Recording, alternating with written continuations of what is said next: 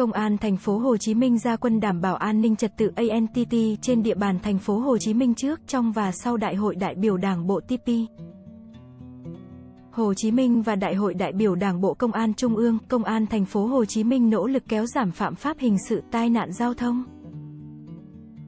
Chiều 29 tháng 9, Thiếu tướng Lê Hồng Nam, Giám đốc Công an thành phố Hồ Chí Minh, chủ trì lễ phát động gia quân triển khai cao điểm đảm bảo an ninh, trật tự an toàn xã hội trên địa bàn trong thời gian diễn ra Đại hội đại biểu Đảng bộ TP. Hồ Chí Minh lần thứ Si và Đại hội đại biểu Đảng Bộ Công an Trung ương lần thứ 7, Thiếu tướng Lê Hồng Nam cho biết công tác bảo vệ tuyệt đối ANTT trước, trong và sau đại hội là nhiệm vụ trọng tâm của lực lượng công an trong thời gian tới. Các đơn vị chủ động tham mưu cấp ủy, chính quyền địa phương phát hiện, xử lý những vấn đề phức tạp về ANTT tại địa phương, công an nâng cao hiệu quả phối hợp với lực lượng của các sở, ban, ngành, chính quyền địa phương và các cục nghiệp vụ Bộ Công an, lực lượng vũ trang trên địa bàn TP.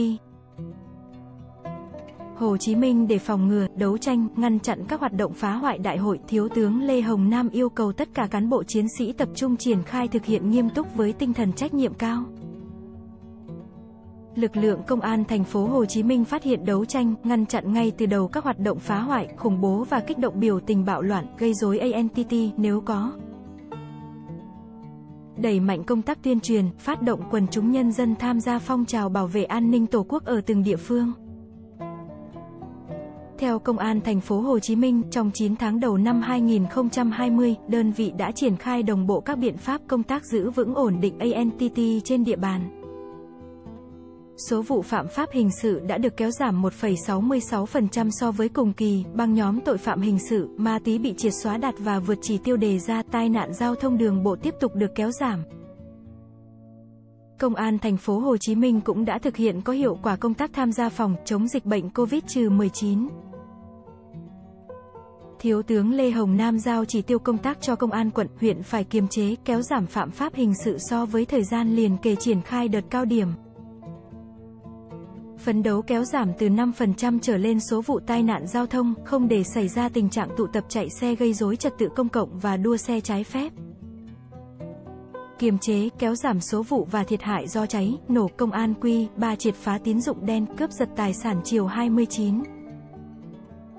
9. Công an quận 3 tổ chức lễ gia quân tấn công, trấn áp tội phạm, đặc biệt đơn vị sẽ đấu tranh quyết liệt với các băng nhóm tín dụng đen, đòi nợ thuê. Thượng tá Trần Hồng Minh, trưởng Công an Quy 3 cho biết trong thời gian diễn ra Đại hội đại biểu Đảng Bộ TP,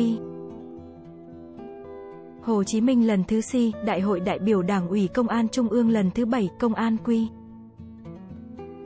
Bà tiếp tục mở đợt cao điểm ra quân tấn công, chấn áp tội phạm, đợt cao điểm này diễn ra từ ngày 30. 931.10 Công an Quy 3 sẽ huy động toàn bộ lực lượng, phương tiện, đồng loạt gia quân với mục tiêu giữ vững an ninh chính trị, trật tự an toàn xã hội trên địa bàn.